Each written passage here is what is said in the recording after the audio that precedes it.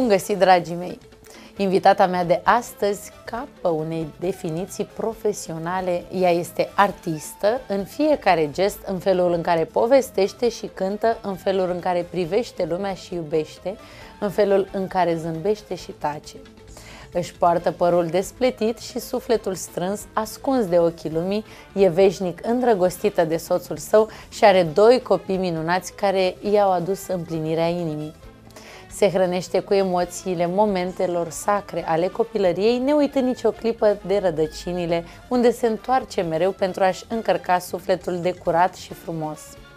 Îi spun bun venit doamnei Mariana Ionescu Căpitănescu, artistă dragă nouă tuturor, o voce inconfundabilă și vă mulțumesc că sunteți alături de noi în ediția de astăzi. Bine te-am găsit, îți mulțumesc pentru această frumoasă introducere o meritați din plin și pentru că tot am spus uh, de lucrurile acestea de trecut și pentru că sunt curioși și cei de acasă, cum era și doamna Mariana Ionescu Copitănescu în copilărie, aș vrea totuși înainte de asta să întreb că Totuși, a trecut un an uh, de când cu pandemia aceasta. Putem vorbi deja de o dispariție despre apropierea de public, obișnuiți fiind cu spectacole întotdeauna și în fiecare weekend. Cum a fost această perioadă pentru dumneavoastră și cum ați făcut să treceți peste ea fără a simți bucuria și lacrima oamenilor care vă îndrăgesc? La întrebarea da. asta trebuie să răspund uh, etapizat pentru că atunci când am uh, intrat în starea de urgență, eu uh, am intrat în uh, starea aceea de, uh, de teamă, uh, o stare pe care nu mi-o recunoșteam și greu m-am obișnuit, uh, așa dintr-o dată, să stau numai în casă. Uh, ulterior m-am uh, obișnuit cu ideea că sunt mamă 24 din 24 de ore și uh, mi-am uh, luat activitatea lent, activitatea mea de gospodină, de mămică și uh, mi-a fost uh, foarte bine să stau toată această perioadă cu copiii mei, dar mai ales cu fata mea, care Uh, după aceea mi-am dat seama ce mare nevoie a avut de această perioadă să mai aibă pentru ea, pentru că acum văd când uh, am început să merg mai uh, des la emisiuni, să plec de acasă, deja aș pune problema ce o să fac eu atunci când o să fii în activitate intensă cum era înainte. Deci această perioadă a fost la început așa grea, foarte grea pentru mine, grea de Acomodare, din punct de vedere al acomodării. O, o acomodare așa lentă, dar uh, uh, a fost, a fost pentru, pentru mintea mea devastator că nu o să mai uh, cânt, că ce o să fac eu cu timpul meu, dar mi-am găsit și timp de lecturat mai mult am, uh, am citit foarte mult, mai ales împreună cu fata mea, citeam în tandem, eram uh, cumva la întrecere și am tot întrebat, dar uh, Antoni de ce nu citește? Păi zic, citește și el, dar nu-l vedem noi acolo unde este.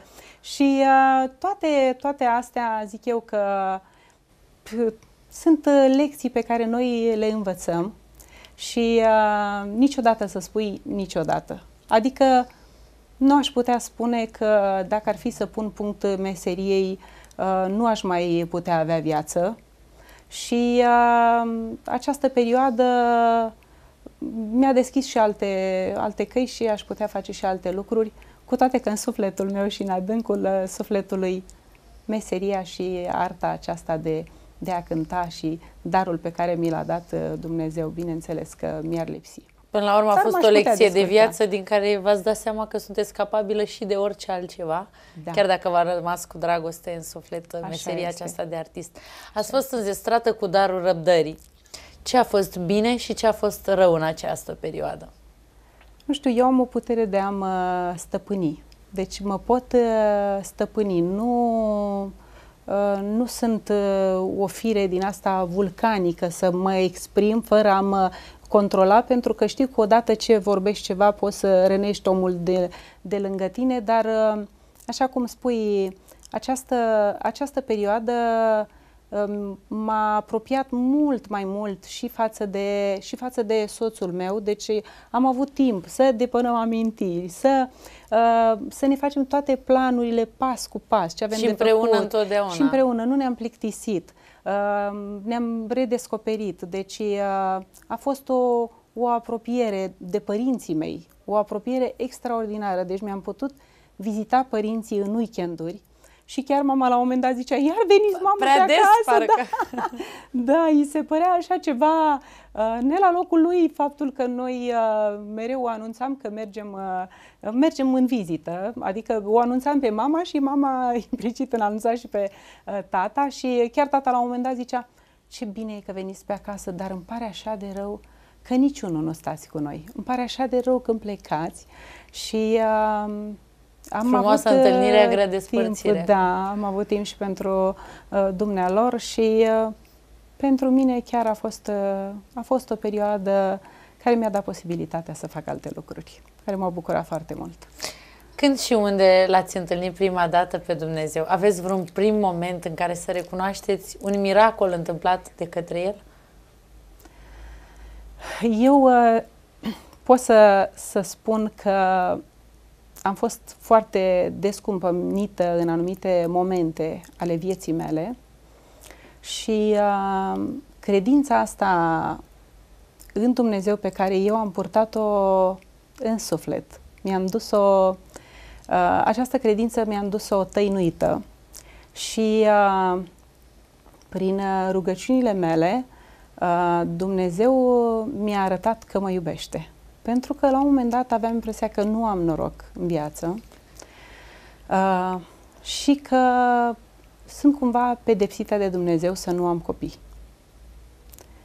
Pentru faptul că am avut multe încercări și uh, într-un târziu am uh, reușit să aduc pe lume copiii mei, uh, cei drept cu diferență mare de vârstă între ei și mi-am dat seama cât de mare este puterea lui Dumnezeu și că această credință pe care o porți în suflet vine cu a nu face rău oamenilor din jur și a te concentra pe, pe acea nișă pe care poți să faci lucruri bune.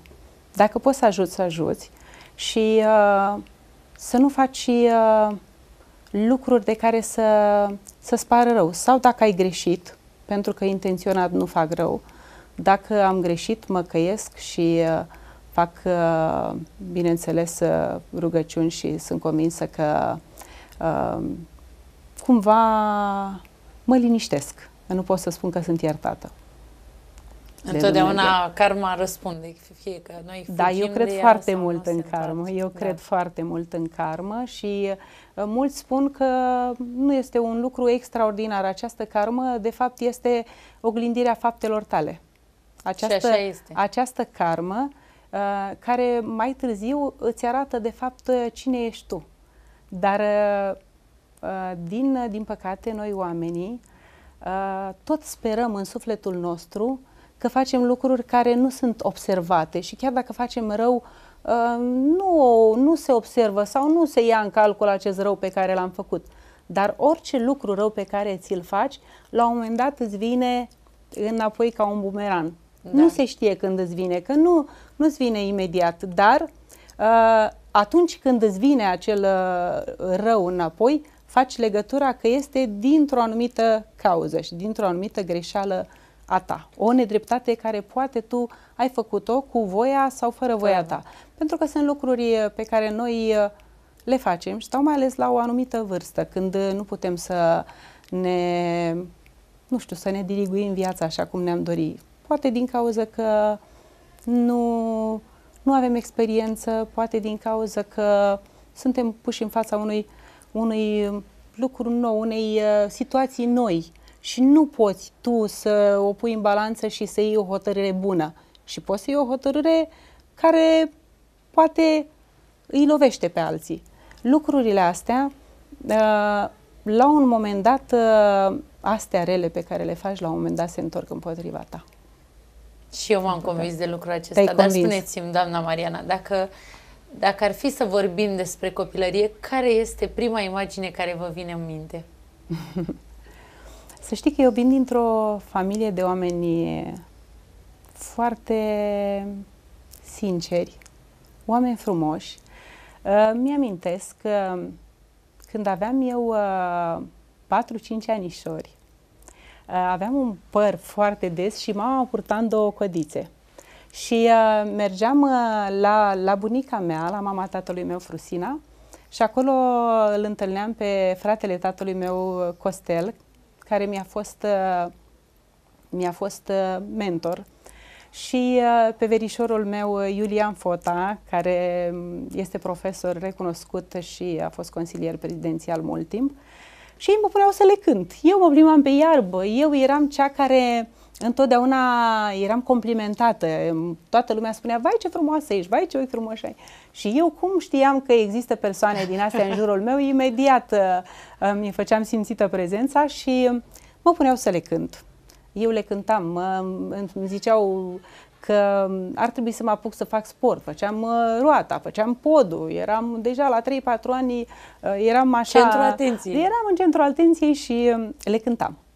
Și spuneau, bine, tu nici nu știi bine să vorbești și cânți. Și uh, unchii mei uh, de la București, unchiul Vergică și, um, și uh, unchiul Costel, îmi tot spuneau tatălui uh, Iulian, îmi spuneau că uh, tu o să ajungi cântăreață. Păi da, îți dai seama că mie mi-a intrat Mai în mult cap vă de la patru ani ambiționa. că o să ajung cântăreață. Și atunci tot ce făceam, eu cântam toată ziua. Cântam și uh, am fost foarte iubită de părinții mei. Uh, și după aceea când au venit frații mei, am fost puțin așa, știi, dată, dată la o parte, pentru că având patru frați mai mici, normal că atenția era asupra lor și eu uh, eram cea care m-am bucurat primii, în primii trei ani, uh, sunt convinsă, nu mai țin minte de atunci, dar așa mi s-a spus că am fost foarte iubită când am fost mică și asta îmi amintesc de o perioadă, perioada aceea până am început să fiu bună de muncă, de trimis cu vitele și de mers uh, la muncă în agricultură, după aceea nu mi-a mai plăcut, pentru că eu în fiecare zi aveam uh, activitate și după școală uh, toate zilele mi erau pline, inclusiv weekendurile până când am plecat la școală, până la 16 ani. Ați avut și susținerea părinților vis-a-vis de această meserie, între ghilimele, de artist? Da, eu le spuneam, era un vis, pentru că până am plecat uh, la Râmnicu Vâlcea la școală, uh, nu, nu știam dacă o să urmez uh, și să devină o carieră uh, artistică, deci uh, cântatul meu era o pasiune atunci și uh, bineînțeles că părinții m-au susținut uh, necondiționat și uh, îmi amintesc că întotdeauna când, când plecam și mai ales când am avut primul concurs, când am avut primele apariții și la radio, plângeau, mă sunau, că atunci era mai telefonul fix și mă sunau, mama, vai, te-am auzit la radio, vai.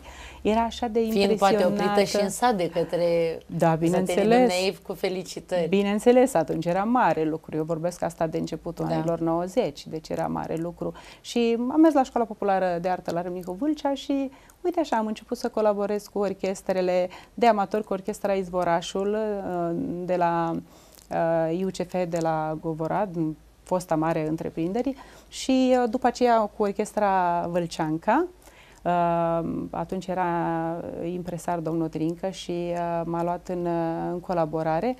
Am avut uh, norocul pentru că întotdeauna am, uh, am colaborat cu profesioniști care mi-au spus uh, ce trebuie să fac uh, bine, cum trebuie greșelile, cum să le îndrept uh, și am fost foarte ambițioasă de mic.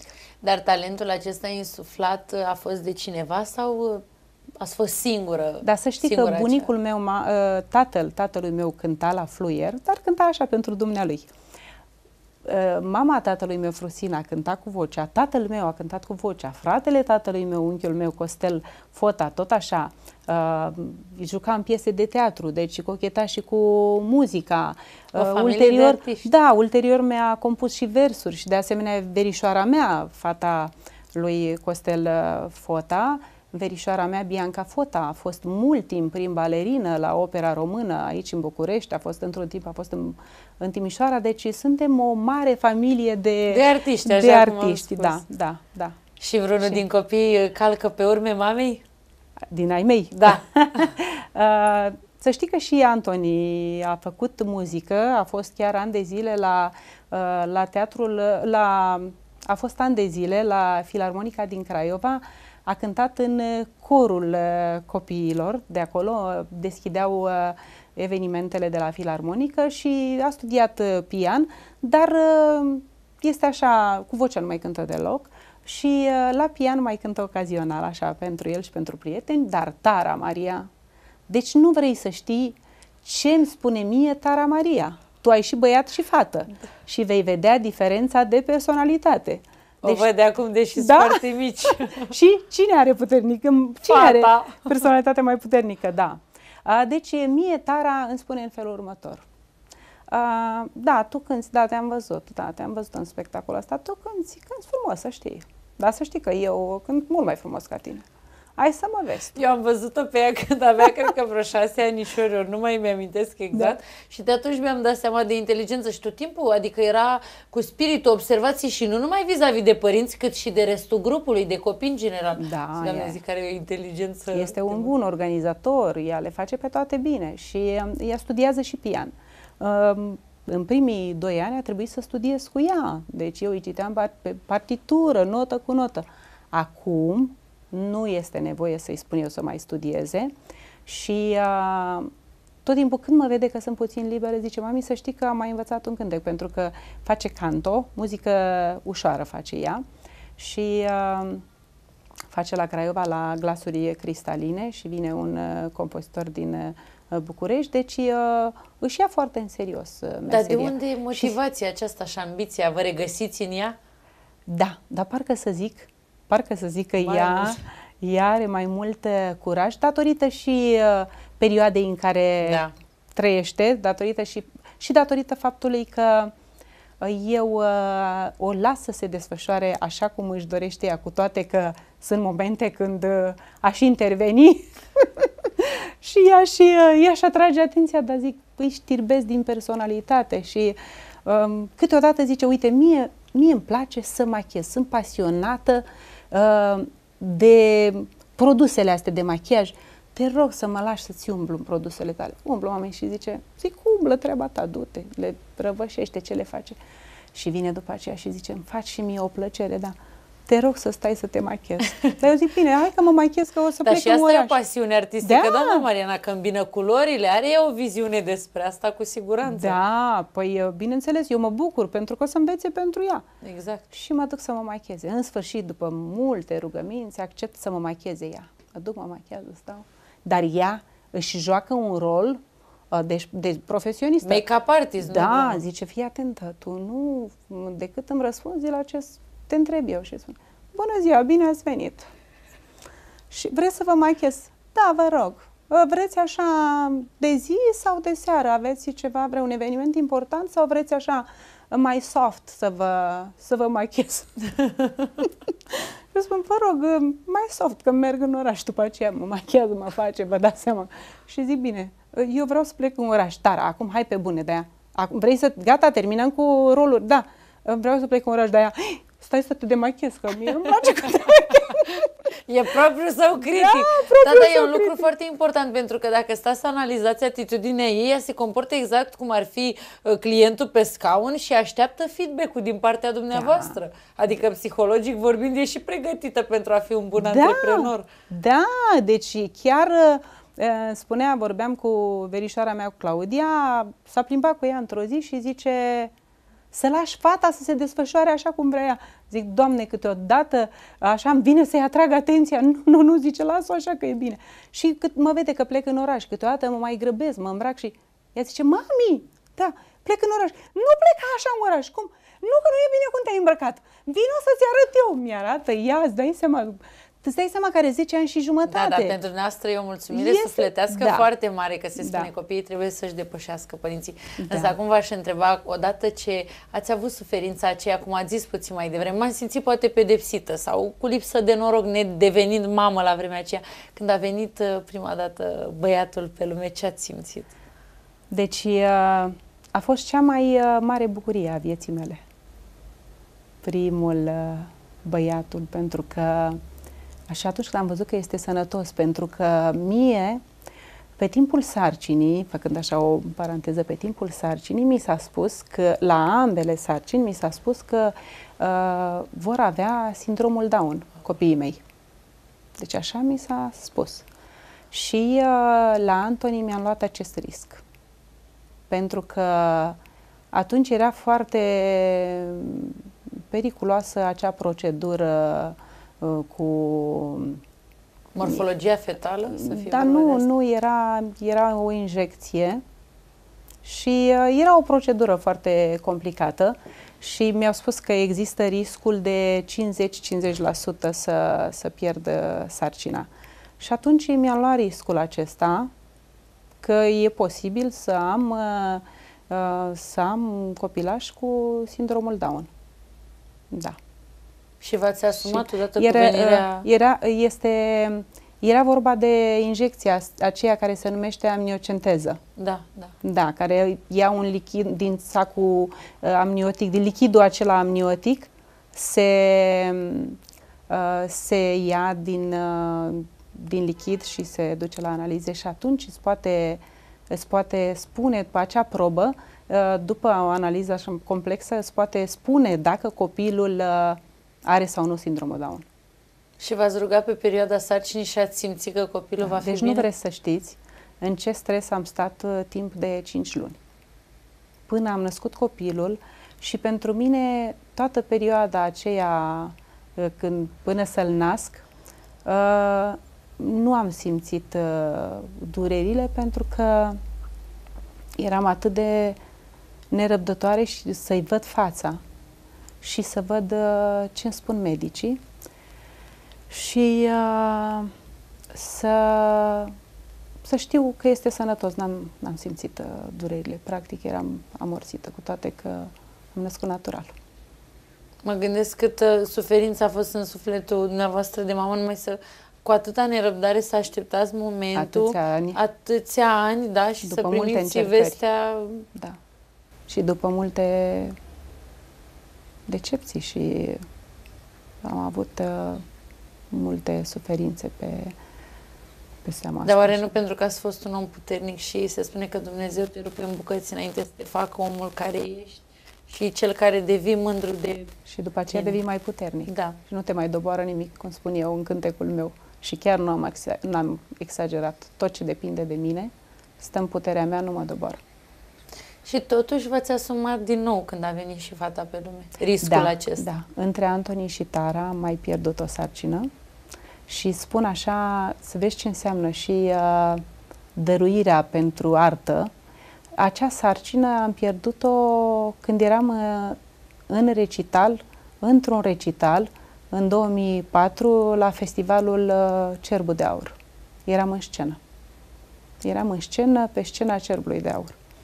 Și uh, atunci am simțit că ceva s-a întâmplat, mi s-a făcut rău, dar uh, cu toată starea aceea am fost nevoită să-mi continui, să, îmi continui recitalul pentru că uh, stăteam uh, în scenă, eram mai mulți interpreți în același timp în scenă și în timp ce așteptam să vină rândul să cânt, uh, mi s-a făcut rău.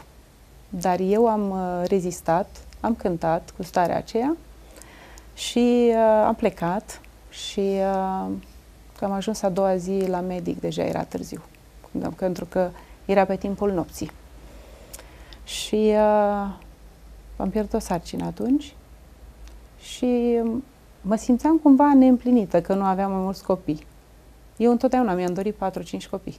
Mai ales că proveniți dintr-o familie Da. numeroasă și ați crescut în sânul familiei și în căldura aceea Da, și în eram iubire. atât de fericită că îl am pe Antoni. Antoni este un băiat extraordinar, deci dăruiește atâta dragoste și uh, știe să respecte. Este, este un copil foarte bine crescut și sunt uh, mulțumită de felul cum s-a format el ca bărbat. Și, uh, dar totuși îmi lipsea ceva. Deci atunci îmi lipsea ceva. Simțeam că mi-ar fi plăcut să am mai mulți copii. Și la diferență de, de 11 ani a venit uh, Tara Maria. Și m-am mai avut și cu Tara Maria niște discuții din astea așa N-ați avut Da. patru, ați avut doi, dar iată cât de frumoși sunt, cât de bine Da. educați și cât de inteligenți sunt. Dar am avut discuții cu Tara Maria uh, că de ce nu am uh, adus-o pe lume mai de mult. Și a trebuit să-i povestesc și să-i Întâmplările. spun, da, și să-i spun că ea nu a venit când am vrut noi, ci a, vrut, a venit când a vrut ea. Și atunci a realizat că de fapt atunci a vrut ea să vină. Pentru că ei ar fi plăcut să fie mai aproape de vârstă cu Antoni și să fiu eu mai tânără. Așa ar fi vrut ea. Din punct de vedere al vârstei, că la cum da. sunteți dumneavoastră și relația de prietenie da. pe care o aveți dincolo de mamă-fică, cu siguranță da. nu se întâlnesc mulți copii cu Da, ea. bineînțeles. Noi avem o, o relație ca surorile. Noi când plecăm la cumpărături, noi plecăm noi două și uh, Dan, uh, soțul meu, zice hai că vreau să merg și eu cu voi la cumpărături. Și zice, nu, tati, te rog să nu mergi. și el zice, mă, dar tu mă super, mă super pe tine. Nu, nu, că tu nu ai răbdare cu noi, tu nu o să ai răbdare cu noi.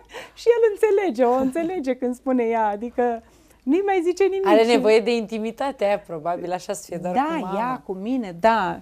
Ea, când noi când mergem la cumpărături, da, noi stăm mult, petrecem mult timp, ne plimbăm, plecăm și ne ducem și prin centrul orașului, deci noi știm când plecăm, dacă ne întoarcem nu mai știm. și mai ales pe mine nu prea mă lasă să mă uit să-mi cumpăr, deci mami, pentru mine ne umblă și mie îmi place și o las așa, dar uh, asta este, într-adevăr.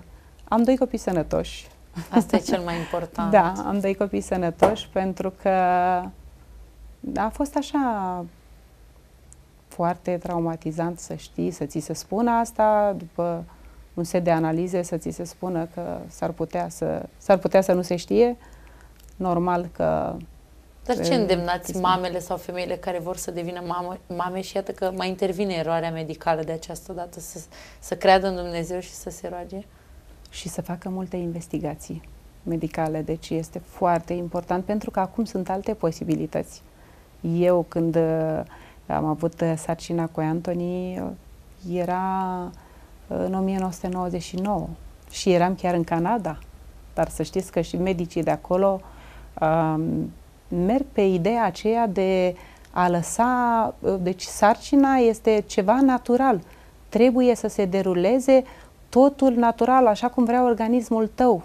Nu trebuie să-l ajuți. Asta, pe ideea asta merg. Deci nu știu dacă acum uh, procedează la fel, dar acum sunt foarte multe posibilități. Deci le-aș, le-aș sfătui uh, să, să facă investigații, tot ce se poate, dacă cumva intervine vreun semn de întrebare și uh, bineînțeles că cred că mai este și puterea lui Dumnezeu, pentru că nu putem să nu putem să controlăm și asta. Dacă ar fi să vă întreb de întâlnirile miraculoase de care ați avut parte în viața dumneavoastră, care ar fi și care au contribuit la ceea ce sunteți astăzi? Cred că Dumnezeu, cred că Dumnezeu mi-a dat uh, atât cât, cât am meritat. Și uh, au fost momente în viață când am crezut că am fost uh, abandonată de Dumnezeu.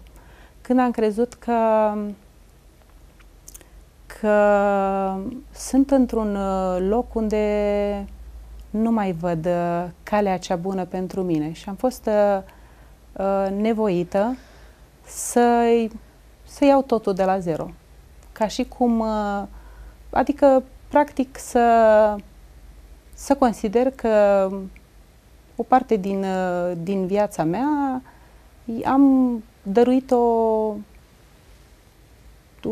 unei cauze. Și uh, am putut să, să fac asta, uh, neștiind în ce direcție o voi lua, dar uh, știind că dacă iau calea asta și plec, uh, adică am, am plecat așa uh, cu nimic, doar uh, cu speranța că îmi va fi mai bine sufletește. Atât. Și, într-adevăr, Dumnezeu mi-a arătat că uh, a fost foarte important curajul meu. Deci curajul același pe, pe care foarte puține femei îl au. Și acel moment mereu la mâini în viața ta. Deci uh, și noi, asta, am multe prietene care îmi spun, aș dori și eu să mă căsătoresc sau aș dori și eu să am un copil, dar nu găsesc nicio, nu găsesc momentul potrivit. Și pentru asta e foarte greu să găsești momentul potrivit, mai ales pentru a face un copil, pentru a aduce pe lume un copil, pentru că noi suntem obișnuiți cu confortul nostru de zi de zi. Nu ne place să ne scoată cineva din confortul nostru, inclusiv a pleca dintr-o căznicie. Sau este, este foarte greu, chiar dacă tu știi că nu e bine. Știi că nu e bine și că nu e bună situația și că nu te duce nicăieri. Totuși întârzi să faci pasul. Totuși mai amâni, că zici că totuși poate, poate greșesc, poate... Dar... E o uh, greșeală să stai. Da, este o greșeală, mai ales când îți dai seama că nu ar trebui, că fiecare om are viața lui și nu-ți faci rău numai ție. Și faci rău și celui de lângă tine pe care îl ții încurcat. Că poate de moment nu-ți dai seama că faci asta, dar de fapt asta faci. Dacă ție nu ți-e bine, poate nici partenerului nu e bine și pentru și tot așa implicit pentru a aduce copii pe lume trebuie întotdeauna o mamă și o femeie, dacă este căsătorită sau dacă își dorește un copil, să fie pregătită oricând. Să fie pregătită oricând. Așa, pentru mine a fost un miracol că am adus pe lume și fetița, pentru că m-a prins într-o perioadă când aveam foarte multe evenimente. Și unele le-am, le-am mai anulat, am mai trimis și colegii în locul meu, dar a fost foarte greu. Am adus-o pe lume la șapte luni, tot așa, cu tot felul de, de peripeții. Și... Uh, luptătoare și ea de când s-a născut. Luptătoare de când s-a născut, da. Pentru că s-a născut la un kilogram 900, uh, în câteva ore a scăzut la un kilogram 700 și acum la 10 ani și jumătate este cât mine. Deci nu s-a simțit faptul că a fost un, un uh, născut, un copil născut prematur. prematur. Da. După o relație care a fost sortită eșecului, se pare, mai sperați că va veni soare pe strada dumneavoastră? Da. Am sperat. Am sperat uh, și eram dispusă să aștept mult timp până când uh, va veni acel soare, dar uh, a venit. și pentru că vorbea la începutul emisiunii despre karmă și legea compensației și că întotdeauna primim după suflet, ați știut că el cel care vă este soț și jumătatea sufletului, va fi pe viața dumneavoastră?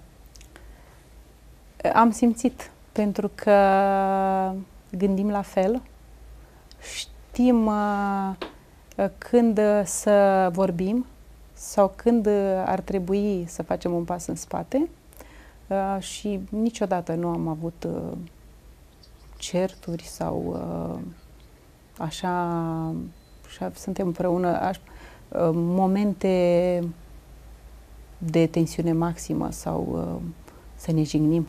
Niciodată. Nu, nu. Și suntem împreună de 26 de ani. Vai, ce frumos! Da. Mulți ani înainte da, împreună. Mulțumesc. mulțumesc. Am, a fost acel uh, respect cu, cu dragoste, o afecțiune care n-a fost nevoie să o spunem neapărat. Am simțit-o. A fost... Ne-am înțeles din priviri. Așa a fost la noi. Ce ați fost dispusă să sacrificați în numele iubirii? Păi uh, am sacrificat uh, cariera artistică. Mm, eu când am plecat din uh, România pentru a fi alături de soțul meu, am, uh, am lipsit din țară mulți ani. Și eu când am plecat uh, aveam uh, popularitate uh, ca și interpretă de muzică populară. Aveam uh, o popularitate deosebită și uh, când m-am întors, uh, fusesem uitată. A Ați trebuit, luat-o de la zero? Nu chiar de la zero, dar a trebuit să, să muncesc pentru a deveni uh, din nou cumva să ocup un loc uh, așa cum mă simțeam eu confortabilă, un loc în muzica populară. Cât timp ați fost plecată în Canada? Am locuit acolo șapte ani. Da. Da, Într-adevăr, cariera era într-o pauză destul de lungă. Da, mai veneam pe aici, am venit, veneam așa câte o lună pe an, nu în fiecare an, uh, dar uh, nu puteam face mare lucru în perioada aceea. Dar când m-am întors, mi-am reluat activitatea cu înregistrări, cu apariții la televiziune și uh, publicul și-a amintit de mine. Și, uh, într-adevăr, dar eu zic că totuși anii pierduți sunt ani pierduți de carieră artistică. Dar uh, în viață nu poți să le ai pe toate. Și sunt momente când trebuie să faci un uh, pas în spate și pentru că știu cazuri când au făcut o carieră artistică strălucită și poate nu au avut timp să-și, îndepline, să-și împlinească alte, alte, alte idealuri. Și te ia valul și nu știi ce, ce ai făcut bine, ce n-ai făcut, ce a avut prioritate în viața ta. În schimb, eu uh, am stat și am pus în balanță și am zis să uh, nu trebuie să fiu eu cea mai populară, dar trebuie să fiu cea care este și mamă și are și uh, trebuie să fiu cea care am o familie, care să știu să spun nu și să am grijă de familie, să spun nu carierei, dacă este cazul, în anumite momente din viața mea, uh, să stau alături de copiii mei, de exemplu, uh, când am adus-o pe Tara pe lume, uh, am ținut neapărat să o alăptez, pentru că așa am procedat cu Antoni și uh, nu vă spun pentru faptul că s-a născut uh, așa micuță, ea se trezea din oră în oră să mănânce. Și eu mă trezeam, o puneam în pătu, o luam din pătus să mănânce, o puneam înapoi în pătus și practic uh, aproape un an de zile eu n-am știut ce înseamnă o noapte întreagă să dorm. Dar nu am simțit asta ca un uh, sacrificiu. Devenise așa un mod de, de a-mi trăi și de a-mi duce zilele în perioada respectivă și um, de asta am, din iubire și protecție da. de mamă, pentru că nu orice mamă luptează. Da. Și am ținut foarte mult uh, uh, am ținut foarte mult la legătura aceasta de, de familie, să fiu aproape de frații mei, să fiu aproape de părinți, să fiu să nu mă îndepărteze uh, și să nu mai ia valul cu popularitatea, cu faptul că faptul că am succes în cariera artistică. Deci azi, lucrurile astea și le-am împărtășit cu familie, pe asta, familia. dar Dumnezeu v-a adus într-un punct atât de mare. Da, sunt, eu sunt mulțumită pentru faptul că am mers, așa cum am zis, am mers în paralel și cu viața de familie și cu viața de artist profesionist. Uh, sunt mulțumită de ceea ce am realizat până acum.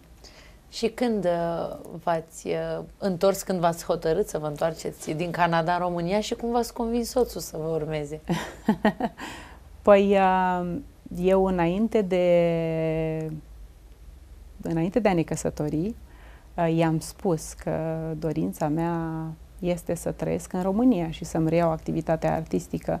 I-am spus că nu-mi doresc să rămân în Canada pentru că acolo nu puteam să-mi desfășor uh, activitatea artistică pe termen lung.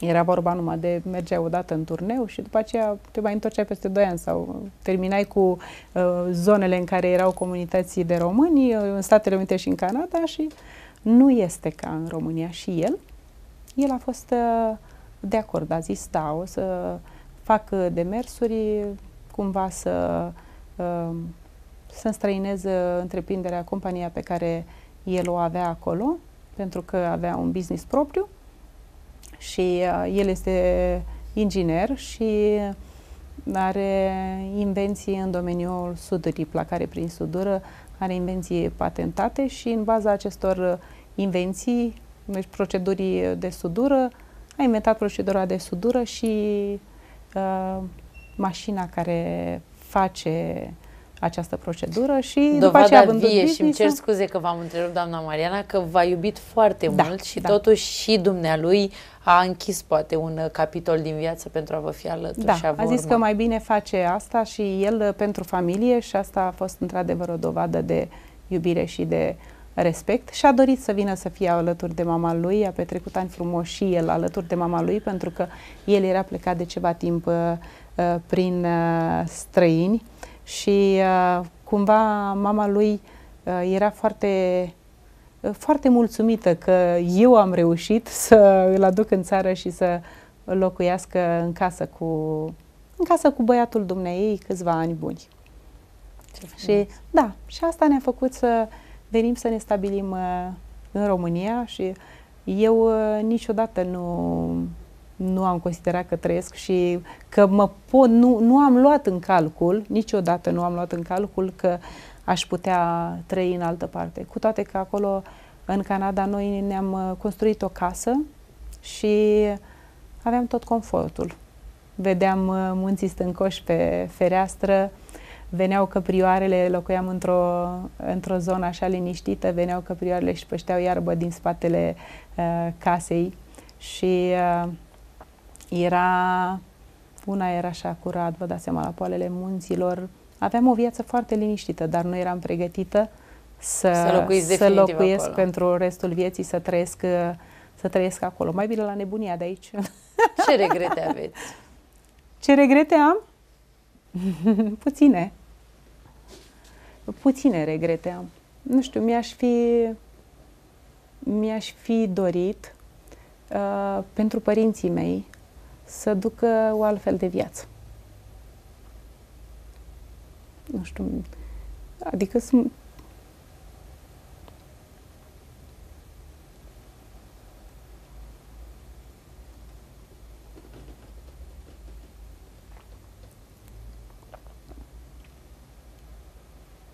părinții mei, de fapt, s-au sacrificat toată viața.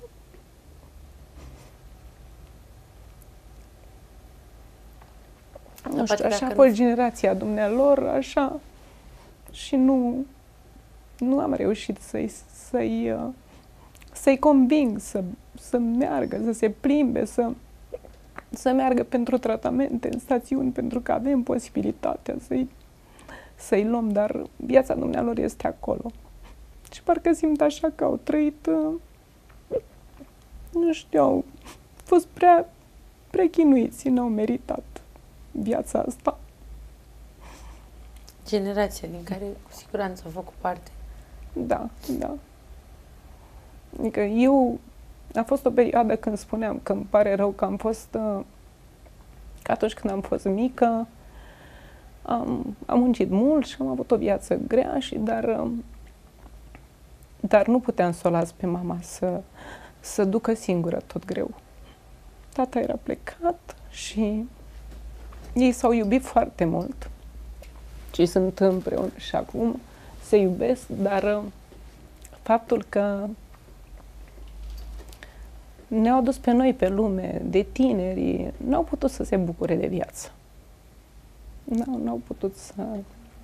Și când îmi povestește mama ce viață grea a avut în, în perioada de, de copilări, în perioada ei de, de copil, îmi dau seama și comparând, comparând ce a trăit uh, dumnea ei, eu zic că pentru mine a fost uh, foarte, foarte bine ce, ce am trăit în perioada de în perioada aceea între 12 și 16 ani, așa cum am mai spus, cât am fost bună de muncă, pentru că toți copiii care trăiau în, în zona aceea rurală munceau la câmp și era o muncă sănătoasă, într-adevăr, dar mama mea a muncit foarte mult și tata la fel și chiar și acum îi rog să-i, să-i duc pentru tratamente în stațiune, să, să meargă la băi, ei tot nu, nu vor, au spiritul Eu cred acela că de... fericiți de, doar că vă văd da, pe dumneavoastră da, și de că le vin De sacrificiu, să ne,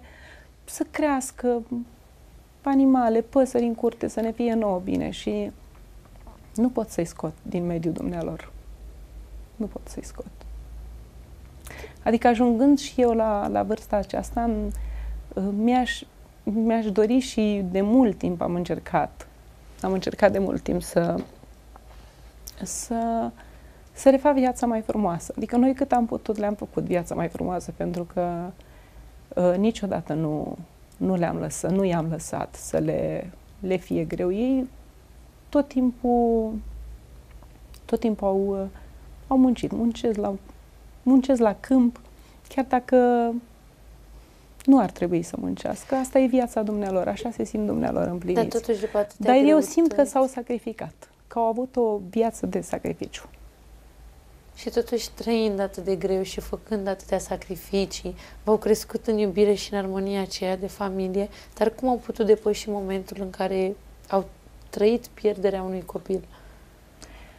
Uh, deci nu vreți să știți ce, ce perioadă dificilă a fost. La, la mama sa s-a declanșat diabetul zaharat pentru că a fost șocul prea nervos. puternic, da. Și, uh, și tatăl meu a devenit foarte tăcut.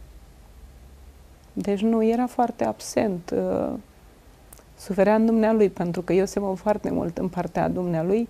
Deci uh, îmi duc suferința în Inter- liniște. Da. da. Mă interiorizez, nu-i supăr pe cei din jur și uh, într-adevăr foarte, foarte, foarte greu. Și acum mă uitam că uh, îi explica Marcelei ce ar trebui să facă, îi povestea cum, ce a făcut Dumnezeu și este foarte greu pentru că mi-amintesc când, a, când s-a întâmplat cu fratele nostru, cu Viorel, uh, dânsa a dorit foarte mult să, să-l mormânteze la, la noi, la, la țară, la noi, la cimitirul și la biserica de care aparținem noi și nu, nu a fost cu putință să facem asta din cauza soției. A vrut, era normal să-și dorească și ea să îl aibă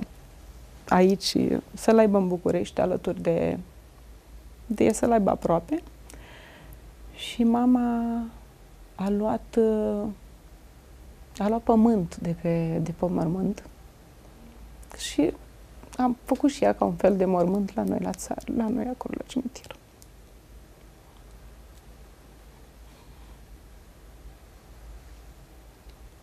Mi se da. pare atât de greu un moment ca părinte și totuși prin atâtea încercări, mai cu seamă că și sora dumneavoastră, Marcela, a fost prezentă, nu în cele mai fericite momente și chiar uh, am avut aici pe canapea emisiunii Folclorul sub lupă și mă gândeam cât de puternică e, dar în același timp amintea în discursul pe care l-am avut cu ea de dumneavoastră și de susținerea pe care i-ați acordat-o necondiționat. Da, noi, uh, frații, suntem foarte, foarte uniți. Faptul că am trecut uh, perioadele grele din viața noastră, noi le-am trecut împreună. Eu nu m-am uh, exteriorizat la lumea din... Nici nu, nu am spus așa poveștile, nici nu-mi place să joc rolul de victimă. Nu-mi place. Și oamenii nici nu... Nu știu dacă celor, celor din jur le face bine să nu-mi place mie să te vadă că te victimizezi. Mie nu-mi place și uh, o admir pe Marcela că nu se victimizează și uh, am încercat cât am putut să o, să o ajut, să o fac să, să treacă de această perioadă, așa cum uh, întotdeauna eu am fost uh, alături de ea și nu numai de ea și să știi că și frații noștri, care ei nu sunt persoane publice, dar uh, au fost foarte mult alături de Marcela și Antonica și Vasile.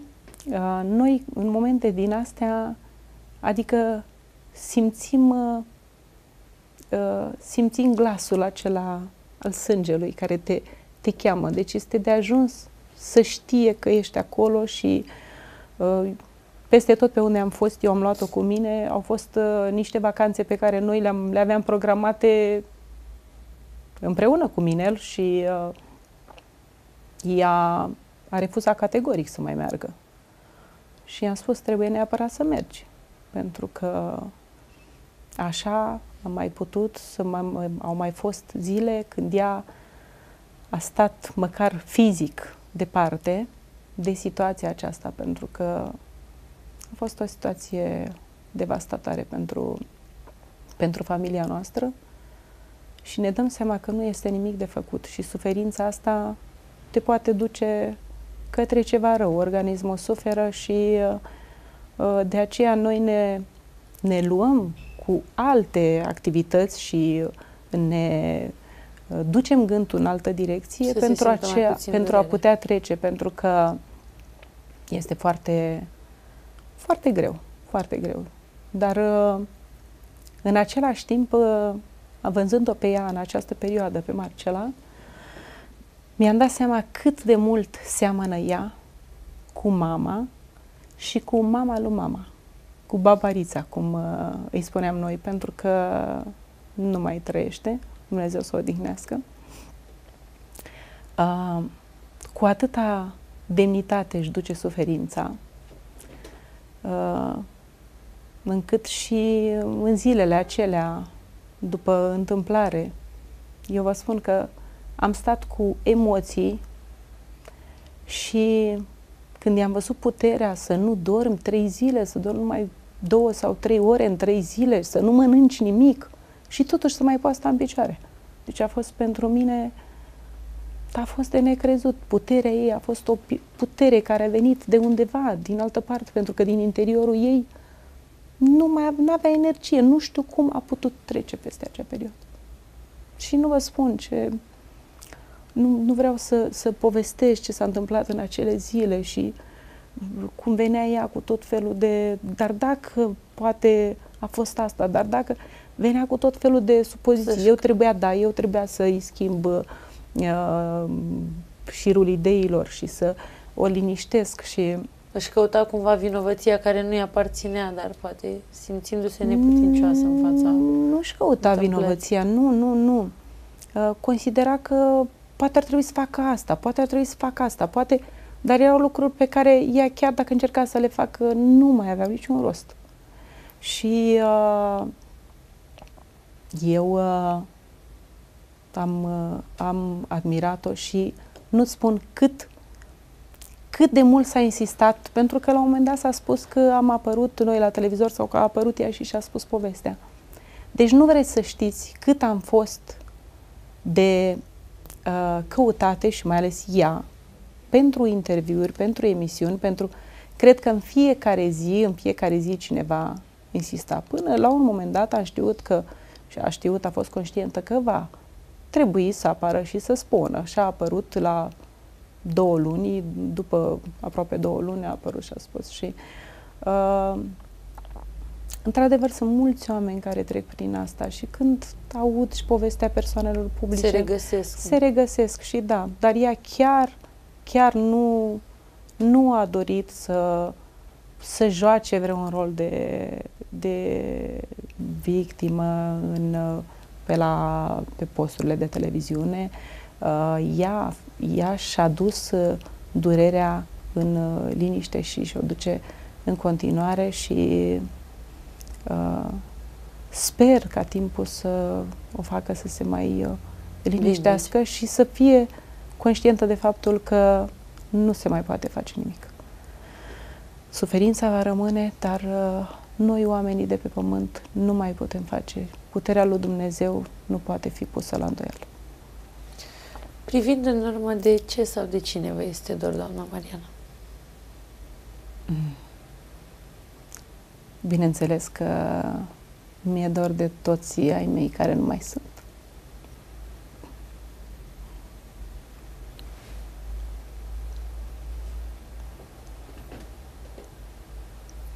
Dacă ar fi să vă aduceți aminte de un moment în care vă simțeați împlinită și fericită din copilărie, care este omul care vă lipsește acum? Fratele meu, Viorel. Vă simt și vă văd durerea și din privire și din suflet și pentru faptul că ați fost sora cea mare. I-ați tratat poate și ca pe... Erați cloși ca cu pui. Chiar da, pentru că așa era la vremea aceea. Fratele da. cel mai mare și avea grijă de frații Noi, mai mici. Eu și fratele meu eram șefii celor mici. Că între mine și Viorel este o diferență de trei ani. Și noi aveam subalterni pe Antonica, pe Marcela și pe Vasile, deci aveam trei frați mai mici. Și uh, pe fratele meu, Vasile, mm, el uh, fiind mezinul familiei, eu fiind mai măricică, l-am crescut.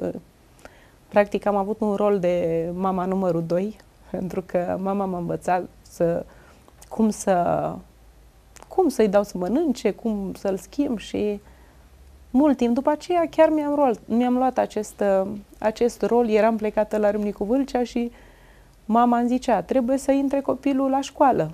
Și eu spuneam, lasă că adu la mine la Râmnicu Vâlcea și îi luam, îi luam cărți, îi luam haine.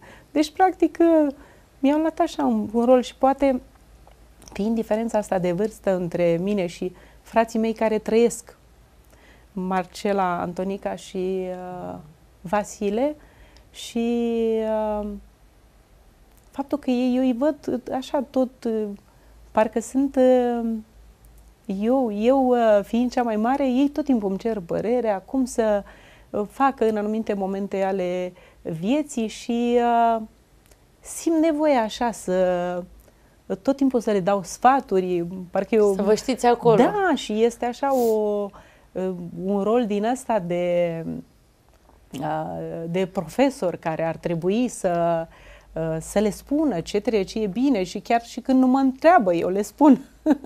și zic, măi, zic, poate n-ar trebui să mai...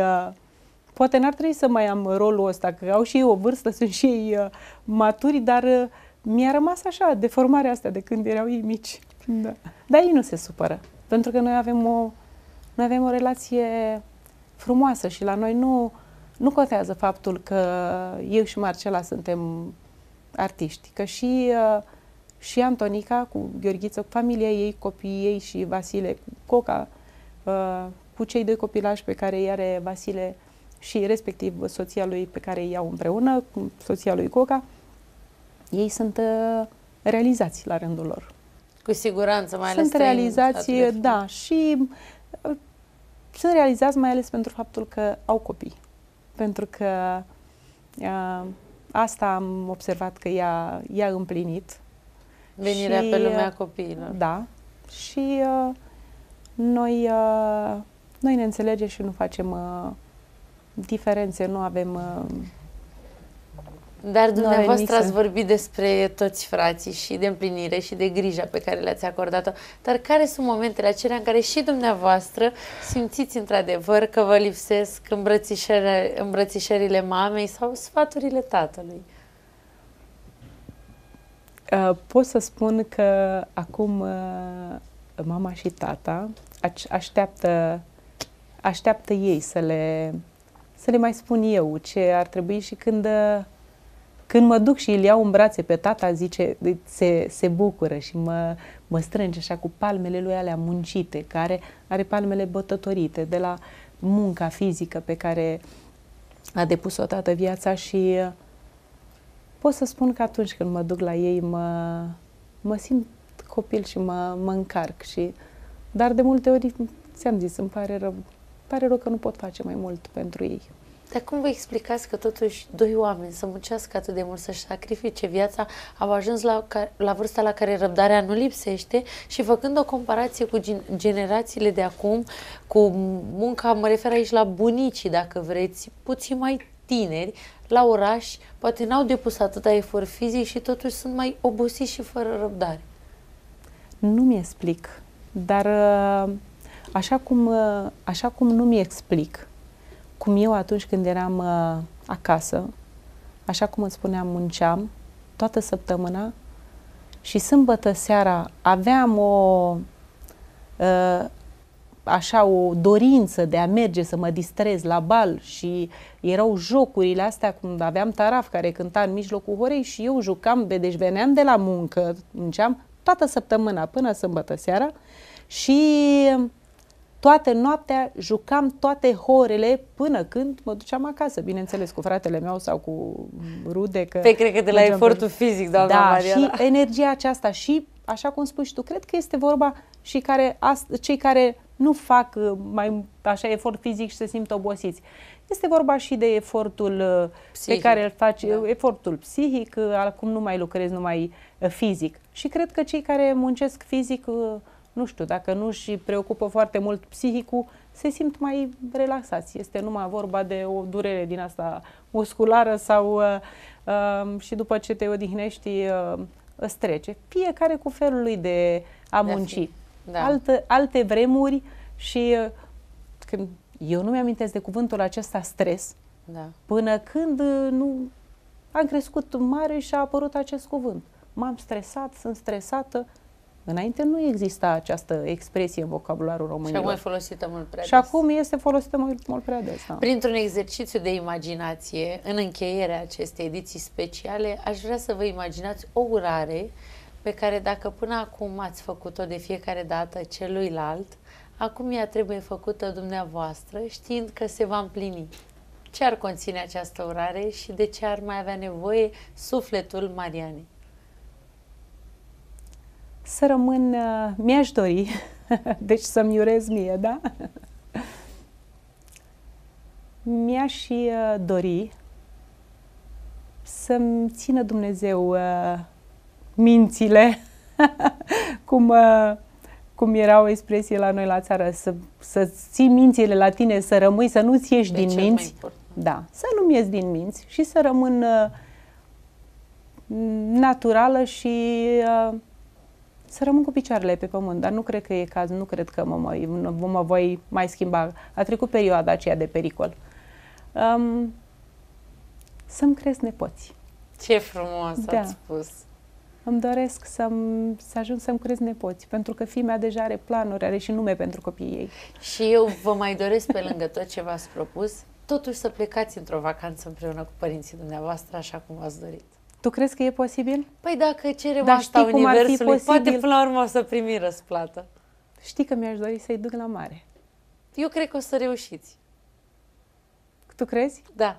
Și mi-ar plăcea să mai veniți la ediția Și să următoare știi la că folclorul o să, Sumul, pun, poate să o se să pun împlinească. pe rețelele de socializare. Mi-aș dori din suflet, vă spun sincer, pentru că se Băi- vede cât de mult îi iubiți și cât vă doriți să-i scoateți Păi- din rutina dumnealor. Dacă ți-aș spune mama acum câți pui de curcă are și câți pui de, uh, de, de găină și rățuși Doamna și Maria, n-am o curceluși, propunere. N-am, nu știu Mă unde duc să eu le cu ducem pe copiii toate la astea. țară, la mama în grijă de rățuște și eu promit că o aștept la mare, la noi Da. pe litoralul românesc. Numai promiteți-mi că îi împliniți E, visul doamnei Te-am Mariana. iertat. Faceți schimb Uite, de te-am oameni. iertat. Te-am iertat că m-ai făcut să plâng. și acum reversul m-ai făcut să râd. Dar de pentru ce că m-ai făcut să dumneavoastră plâng? ați plâns, m-am regăsit și eu cu multe. Și știu că sunteți un exemplu de viață și o lecție și Da, pentru să mine. știi că eu nu prea plâng. Ați pentru plâns de că- fericire pentru că o să mergeți cu părinții la mare, vă spun sigur. Da? Bine. Acum, în încheierea emisiunii, vreau să vă mulțumesc pentru distinsa dumneavoastră prezență și pentru telespectatorii de acasă. Până data viitoare să mai îmbătrânim puțin lângă cine ne spune inima și ne împlinește sufletul. La bună vedere, dragii mei!